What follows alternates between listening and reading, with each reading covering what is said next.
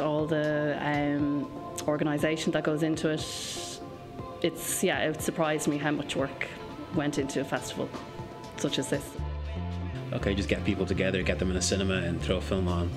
You forget about um, you know advertising and planning and calling people up and calling directors up and handing out free tickets and you know just a lot of, you forget how many you know I, I learned how much goes into actually preparing a festival and how long it takes to prepare a festival we made it first of all we were scared that anyone was even going to like it or laugh at it we screened in college and then people kind of gave us great feedback and then we thought why not try it in Fingal Film Fest we didn't really think we'd get in then we got the email back and they said yeah great and then you're shortlisted which is brilliant like you know um, it's wonderful to get a little bit of recognition at all, like get it out there. Uh, it was surreal. Um, having the opportunity to do that, I think it's uh, especially someone my age. I'm only 22, so having a film like that being shown to not just your family and friends, but to the wider audience, I think it's a great opportunity. And uh, it was um, very humbling and quite a nice feeling to see other people willing to go see it and stuff like that, as well as the other films. This year, as opposed to previous years, we have more Irish films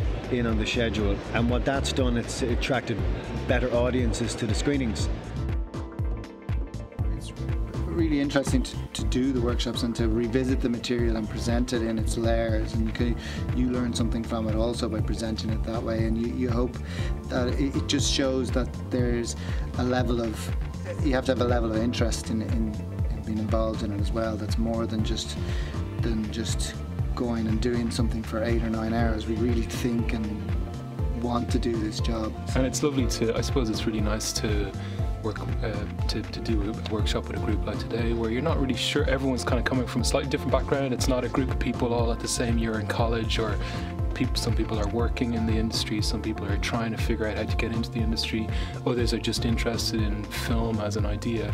And you, you're just kind of giving them an idea of something that happens behind the scenes that uh, it's a possible career avenue. It's actually all we kind of boils down just good traditional animation skills. So if it's drawn on paper, you know, or it's done in 3D or it's in Flash or whatever program, I think it's as long as the kind of like the core traditional animation sensibilities shine through, and that's that's the most important thing. It gives the energy up, the enthusiasm there.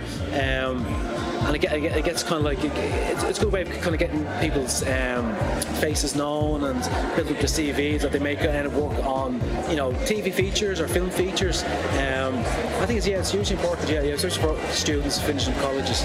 Doing something that nurtures and facilitates creativity to this level in a relatively small community is fantastic and even around here we have a team of volunteers we, every, all my staff here are very happy and motivated and there's a real buzz about the place.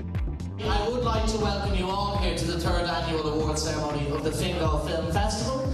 Uh, we're all up for a very good time. Uh, I'm your host, by the way. Uh, my name is Al. Some of you may be looking at me wondering, oh,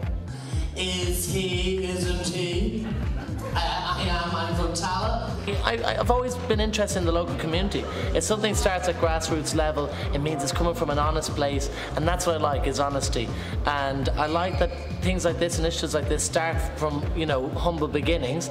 And now Dave and Liz, who started this, they've after creating an internationally acclaimed festival, which will continue to grow. This is a celebration of the films that you guys have made. This is a culmination of your hard work. Uh, we were very proud to be able to be in a position to show your films over the course of the last three days and we look forward to receiving many more submissions for you in the future.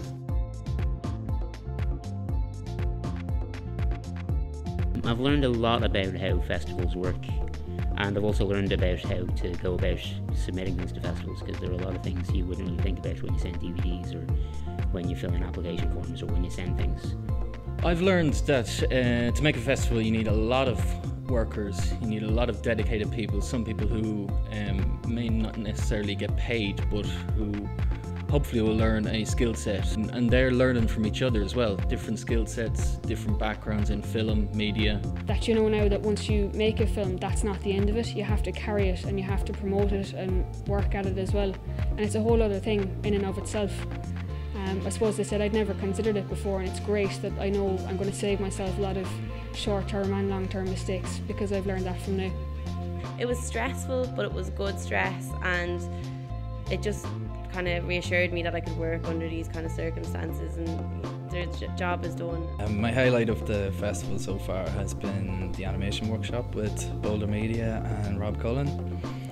Uh, I'm not an animator, but I just thought it was really interesting because it focused on storytelling and character design and basically how to tell a good story. The highlight of the festival was seeing um, a lot of films that uh, from Irish people, especially student films. Uh, it's kind of showing me the, the amount of talent that's in Ireland, and it's kind of giving me new newfound hope. And you know, uh, I'm ready to go out there and start hopefully making films of my own. The opening night of the Fingal Film Festival, when I was sitting down watching Skunky Dog and Palo Alto, and to look behind and see the theatre full of people who had come to see um, the opening night, that was, you know, that was a great buzz and definitely the highlight of the festival for me.